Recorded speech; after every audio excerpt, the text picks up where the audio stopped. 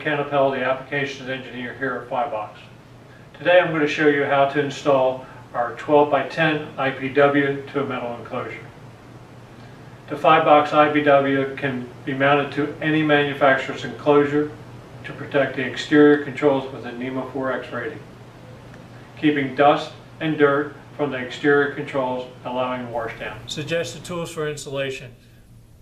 Painter's tape that will not allow residue on the existing enclosure, a hammer, a drill, center punch, tape measure, drill bit in size Q or .332 diameter, two wrenches or ratchets with sockets, and a torque wrench. Place the template on the existing enclosure. Confirm that the template is plumb and level. Mark all your mounting holes.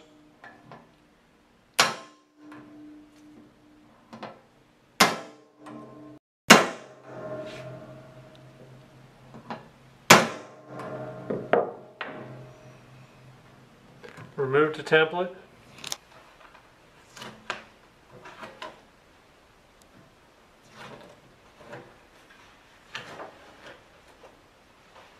and drill your mounting holes.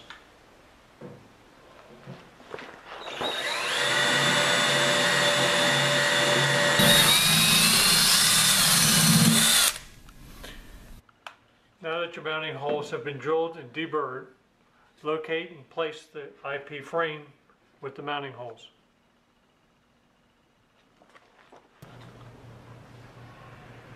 Hand tighten the 5 16 bolts and nuts in the order shown on the template.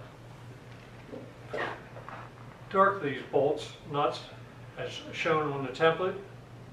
Torque the bolts and nuts to 53 to 80 inch pounds or 6 to 9 newton meters. Congratulations, now your IPW is ready to protect those existing controls for a very long time. Fibox, thank you for purchasing our instrument protection window IPW. If you have any questions, please contact Fibox at fiboxusa.com or call 888-342-6987.